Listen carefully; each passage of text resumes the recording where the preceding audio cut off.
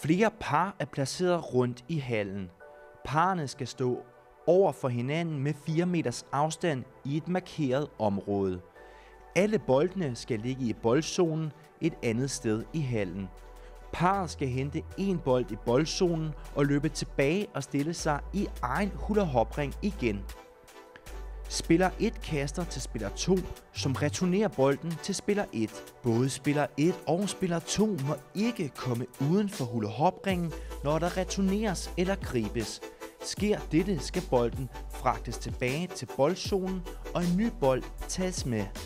Gribes bolden, imens spiller 1 står i hula-hop-ringen, har man vundet bolden, som placeres tæt ved ens hula-hop-ring.